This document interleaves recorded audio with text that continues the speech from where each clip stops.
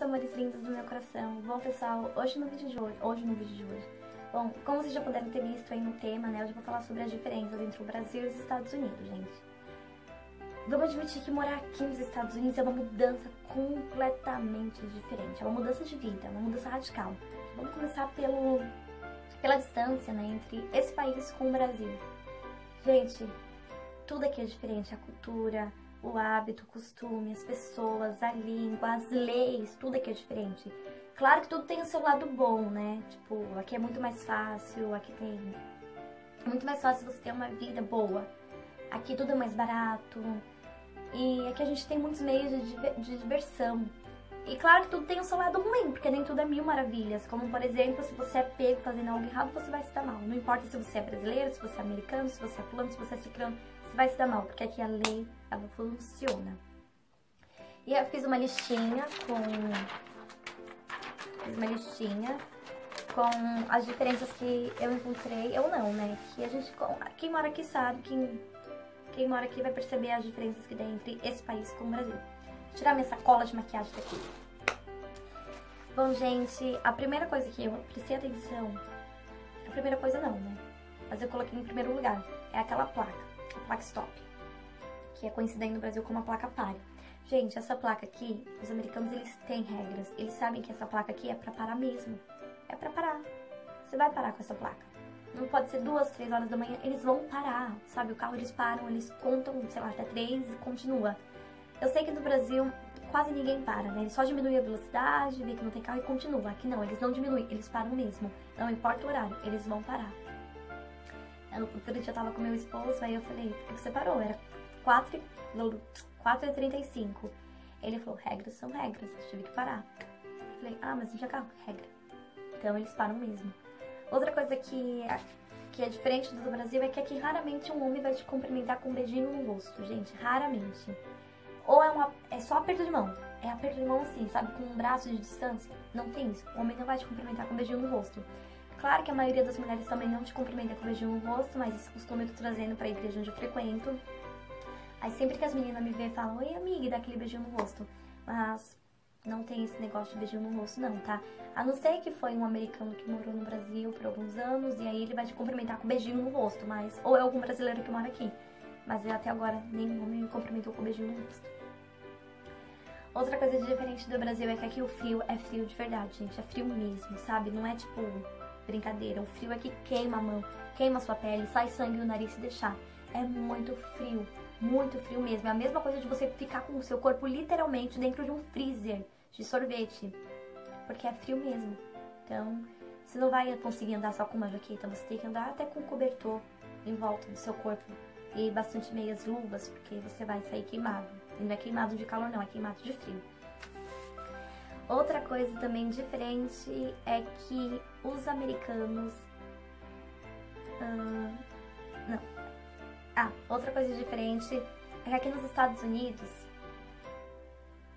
se você faz uma compra pela internet, eu tava lendo aqui pra ter certeza se é essa. Aqui nos Estados Unidos, você faz compra pela internet, se você não tá em casa, eles não vão pedir assinatura de ninguém. Eles vão deixar seu pacote lá, em, lá na frente da sua casa. Não importa se é uma big compra, eles vão deixar lá. E o melhor ainda é que ninguém vai mexer, gente. Ninguém mexe, ninguém vai mexer. Sua caixa vai ficar lá até o dia que você chegar, não sei se você foi a férias, mas vai ficar lá e ninguém vai mexer. Diferente do Brasil, porque onde eu morava, infelizmente, roubaram o carro do Sedex com tudo que estava dentro. Então, é diferente. Imagina se você deixa um pacote de compra lá na frente da sua casa, o que vai acontecer, né? Então não é confiável. Aqui não, aqui ninguém mexe, isso é muito bom. Outra coisa de diferente é que aqui a festa mais tradicional depois do Natal é a Thanksgiving, que é a ação de graça. Gente, eles amam isso. Eles amam esse feriado. Aqui eles montam aquela mesa gigante, sabe? Toda farta. Então os americanos piram nisso. E no Natal também. Outra coisa aqui nos Estados Unidos é que as lojas abrem todos os dias, inclusive no domingo. Eu sei que tem pessoas que vão deixar no comentário. Dai, mas no Brasil também abrem no domingo. Inclusive tem lojas que fecham bem tarde. Mas aqui, gente, todas as lojas só fecham no domingo. Só abrem, abrem também no domingo. É que no Brasil, algumas lojas costumam abrir cedo e fechar cedo. Aqui não. É, abrem no mesmo horário e fecham no mesmo horário. Então, todas as lojas abrem todos os dias. Exceto na ação de graças, né? Porque eles estão se preparando para o Black Friday. E o dia 25 de dezembro, que é o Natal. Mas o resto, tudo abre. Abre, é loja de joias, é loja de roupa, de sapato, enfim, vão abrir. Não importa, eles gostam muito de trabalhar pelo jeito, né? Hum... Ah, aqui é comum e fácil você trocar um, uma compra que você fez. Tipo numa loja, sei lá. E eles reembolsam, eles re te reembolsam de novo. Você recebe reembolso. E outro dia eu fui trocar um pó, né? E a mulher não pediu a nota fiscal. Oi, Lili. A mulher não pediu nota fiscal. E eu troquei meu pó numa boa. Ela até falou se eu queria meu dinheiro de volta se eu não encontrasse o pó. Então, é muito bom. Aqui no Brasil não tem isso. Outra coisa que é legal aqui é que aqui existe promoção de verdade, gente, é sério, em datas determinadas, claro. Inclusive eu comprei uma calça da Hollister por 15 dólares. Então aqui existe promoção de verdade. Uma calça super cara, hein, pra lembrar. Outra coisa muito legal é que aqui as farmácias, elas são enormes. Elas vendem de tudo, de tudo você vai encontrar nela. Você vai encontrar decoração para casa, você vai encontrar produtos de limpeza, comida e até roupa. Ah, e onde ficam os medicamentos? Os medicamentos, eles ficam bem no cantinho assim da farmácia. Então, é muito bom. As farmácias aqui vendem muita coisa, muita coisa mesmo. Ah, outra coisa também que é bem diferente, que no Brasil não tem, se tivesse um... Sou meio suspeita. Aqui todo mundo tem arma, gente, pelo menos aqui nessa região. Todas as casas que eu vou, eu sempre vejo uma arminha no cantinho da casa. Todo mundo tem armas, sabe? É uma, sei lá, é uma nação completamente armada. Eu acho que é uma lei, né, que eles têm, uma lei constitucional de defesa, não sei, para se defender, um meio para se defender. Mas é que todo mundo tem arma, inclusive aqui em casa tem muitas. Uh, ah, um ponto negativo. Pra mim não é um ponto negativo, porque eu não gosto, mas é que só tem bique não. Não tem biquíni cavadão. Eu amo maiô, mas maiô aqui pra eles é considerado ousado, mas tem maiô sim, um mais lindo que o outro, tá? Mas aqui biquíni, não tem biquíni no Brasil, só tem biquíni de vovó. Uh, outra coisa legal é que o povo americano, eles são bem relaxados com moda, sabe? Eles preferem o conforto ao invés de elegância, de estilo. Eu adoro isso porque eles não se importam muito com seu estilo de roupa. É muito bom isso. Você pode andar com uma melancia na cabeça que pra eles, tanto faz como tanto fez. É seu estilo. Eles vão respeitar. Adoro isso. Ah, gente, um ponto negativo é que eu não encontrei Nescau ainda. Eu amo Nescau. Eu encontrei sim os outros achocolatados, mas nenhum se compara ao meu Nescau lindo, maravilhoso, gostoso demais. Aqui não tem Nescau. E eu ainda não encontrei requeijão. Se você mora aqui ou se você já veio aqui, conhece muitos mercados aqui, sabe que tem? Me falem, coloque aqui nos comentários, porque eu quero saber, gente. Eu adoro requeijão e eu não tô encontrando, não encontro. Adoro requeijão. Outra coisa boa é que aqui tem um corredor gigante só de batatinha chips, sabe? Só um corredor assim, só com essas batatinhas, gente. É tudo baratinho. Baratinho. Pra quem gosta e pra quem quiser vir aqui, vão adorar. Só tem isso. Um corredor... não, não é só tem isso, mas tem um corredor somente disso. E outra coisa que é bem diferente, assim, que eu até me estranhei, é que americanos, eles são muito educados. Muito, muito, muito. Todos, todos, é 99%. São tudo educados, gente. Se eu tô no mercado e eu tô passando pelo corredor estreito, a pessoa nem encostou em mim, nem me atrapalhou e está pedindo desculpa. Eu tô cansada de ouvir desculpa. Eles falam muito desculpa, eles são muito educados, sabe? É muito obrigado, muito com licença. Eles são muito educados desde criança, porque eu tava observando as crianças brincarem e as brincadeiras delas, sabe? É um, é totalmente diferente. Eles são muito educados desde criança. Até na hora de brincar.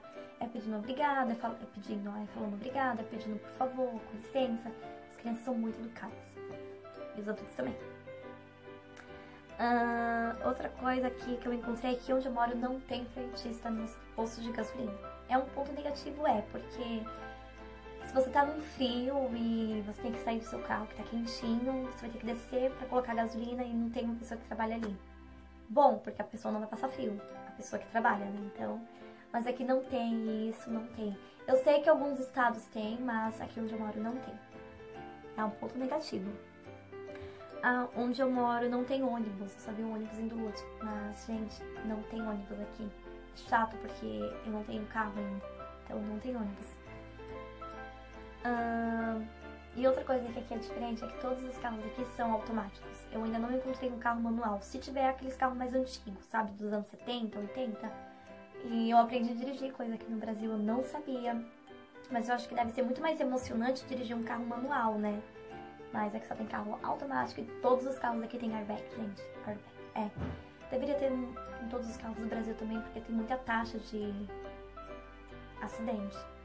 Mas aqui todos os carros têm airbag e são automáticos. Hum, outra coisa que aqui não tem, que é um ponto negativo, é que aqui você não vai encontrar SUS. Porque pro americano isso não é um, um direito, sabe? Uma obrigação do governo. É como carro e casa, cada um tem que ir atrás do seu. Então não tem SUS. É chato, né? Hum, infelizmente ainda não encontrei banana, um ponto negativo, não encontrei. Não, calma, tem banana sim, mas não tem banana prata e nem maçã. Tô muito triste porque eu lembro que meu paizinho ele chegava com aquelas pentas de banana gigante. De banana prata e maçã, eu amava, gente, minha fruta favorita. Eu acho que vou começar a fazer compra pela internet de banana, porque aqui não tem. E tem muita coisa que não tem, que aí no Brasil tem, aqui não. Vou fazer um vídeo depois falando sobre isso. Outra coisa que eu encontrei aqui, porque você que é do Nordeste, você vai amar, é cuscuz, gente. Eu amei encontrar isso aqui, porque eu como de manhã. Adoro.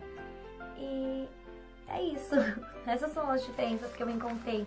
São poucas, né? Mas é as diferenças. E lembrando que quem me acompanha nas redes sociais deixaram perguntinhas lá. E foi no Snap, no Facebook, enfim. E a Helena fez. Daí falou, falou a pergunta pra mim, fez a pergunta. Os americanos são mesmo frios? É difícil fazer amizade? Olha, não, nem todos são frios. Mas no começo eles são bem reservados. E não é difícil fazer amizade, não. No começo vai ser um pouquinho complicado porque eles são muito da deles. Mas depois que você vira amiga, gente, já é. É aquela, aquele hábito de dele vir na sua casa, seu amigo trazer um prato de doce, de torta. Enfim, eles são bem família. Mas não são difíceis, não, tá? Tem muitos brasileiros onde você mora? Olha, André Teles, eu ainda não encontrei bastante brasileiros, ou muitos, porque eu ainda não conhecia a cidade toda. Ainda não sei, mas eu sei que tem americanos que já foram pro Brasil. Mas eu não sei se tem bastantes brasileiros. Eu sei que tem alguns mexicanos. Alguns e outros, mas ainda não encontrei. Não sei se eu sou a única, mas vamos lá. Uh, Monique Garcia. Que comida brasileira você não encontrou nos Estados Unidos? Gente, são tantas, são tantas mesmo. Mas eu tenho uma rotina normal de alimento. Eu como comida normal no almoço, eu como comida normal, como vocês comem aí no Brasil. Eu não encontrei pudim de leite condensado, não encontrei leite condensado, não encontrei açaí, eu não encontrei coxinha. Eu sei que em Chicago tem, mas aqui não tem. Então são muitas comidas que eu ainda não encontrei. Mas eu faço bastante comida que aí tem. Mas feijão e arroz você encontra no mercado de boa. Uh, Jonas, como são os americanos? Eles são reservados, como eu falei, mas, gente, eles amam os brasileiros, como admitir. Eles sabem quem são brasileiros por causa do I. A gente usa muito o I, é stop, é smoothie, é muito I no final da frase. Então eles já sabem diferenciar quem são brasileiros e eles amam, amam. Coyote M. Ponto. A comida americana é ruim? Não, gosto da comida daqui. Neide Machado, como é a limpeza da sua casa aí? Então, a casa é grande, eu não consigo dar conta de tudo sozinha, então eu divido em partes, tipo, hoje eu limpo uma parte, amanhã eu limpo outra. Eu vou ter que fazer um vídeo falando sobre isso também, e aí eu vou fazer um vídeo dedicado especialmente a você, tá? Uh, Érica, como é a sogra nos Estados Unidos? Gente, elas são maravilhosas, são uma segunda mãe. Eu tenho minha mãe aí no Brasil e tenho minha mãe aqui nos Estados Unidos. É uma segunda mãe, amo demais. Elas se preocupam tanto, tanto, tanto, tanto, sabe, com a sua filha, porque para elas são consideradas filhas, é diferente. Elas não são cobras, elas são mãe, segunda mãe. Ellen, minha amiga, beijo, amiga. Hum. Os americanos tratam os brasileiros como? Eu já falei que eles amam, né? Muitos brasileiros.